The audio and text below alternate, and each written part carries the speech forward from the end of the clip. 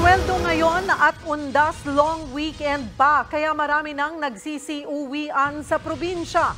Live mula sa Paranaque, nasa frontline ng balitang yan si Gerard de la Peña. Gerard, mahaba na ba ang pila ng mga pasahero dyan?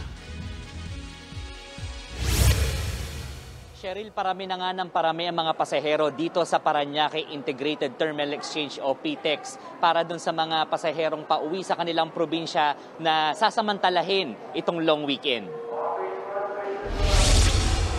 Sarado man ang mga sementeryo ngayong undas, hindi nito napigilan ng marami nating kababayan na makapagbakasyon, lalo na't mas maluwag na ang restriksyon sa maraming lugar.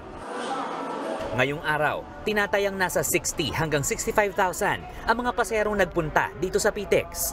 Halos parehas yan ng dami ng mga pasahero bago ang pandemya.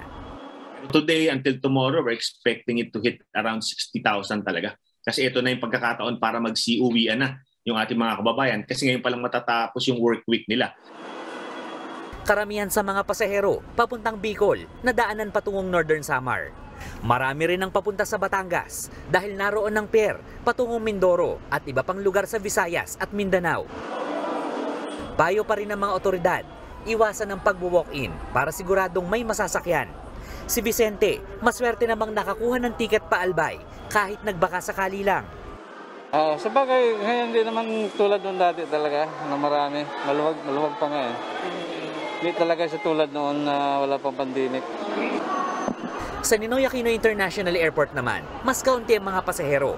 Pero halos lahat ng mga nakausap natin, bakasyon mode na. Katulad na lang nila Jen na magboborakay. Busy-busy po kasi sa work para ano lang po, may iba lang po yung environment.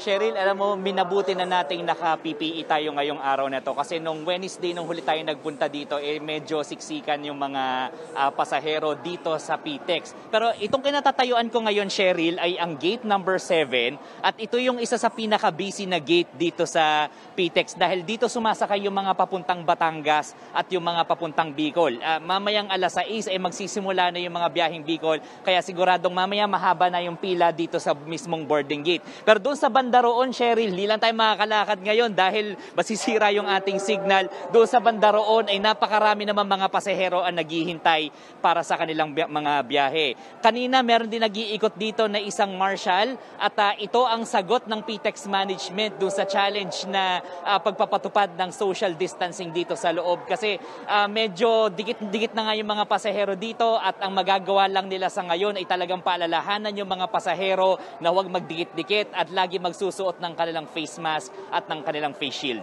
Cheryl. Maraming salamat, Gerard de la Peña.